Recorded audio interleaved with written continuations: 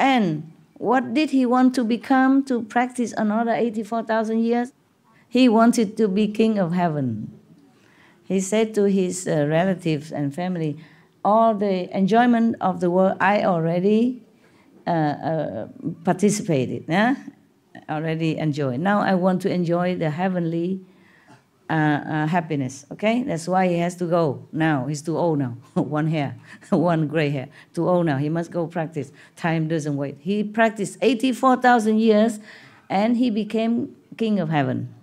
If you want to become king of heaven, you know what to do now, right? Wait until you want your hair gray, then 84,000 years you must practice. Whether in this life or continue until 84,000 years passed. Now, what did he become after he became king of heaven? He returned to earth again when his merit ran out. 84,000 year practice to become king of heaven, and still the merit ran out. One day, some of the heaven king they have uh, been adorned with the flower naturally, and when one or some of the flower on their head become withered, then they know, oh, it's time to go then they will become humans again or animals accordingly. And that king has came back to become a king on earth again. And then he probably practiced another 84,000 years, become king of heaven and come back, etc., etc.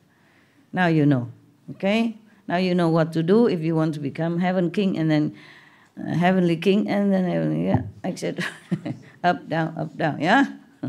not because the Buddha has forgotten that he's supposed to be a Buddha instead of being a king of heaven, yeah, but he he want to make affinity with heavenly beings as well. Hmm? 84,000 years he has made affinity with some of the humans and has been born and lived during his lifetime as a king. And then another many kalpa or a thousand or million years in heaven, yeah, affinity with other heaven beings. Okay? That's why. Not because you fall down and uh, desiring heavens or mundane uh, pleasure. No, no, no. It's just made that way. Okay? It's arranged that way, not because he want to. Yeah. Even knowing or not knowing. I mean, from the mind, the Buddha has to do all this. Maybe the Buddha did not know. I mean, because of mind, you know?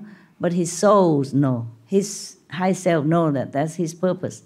He do this, he do that, and all kind of thing, just until finally he became Buddha, and then he can uh, rescue all these people. Huh? All right.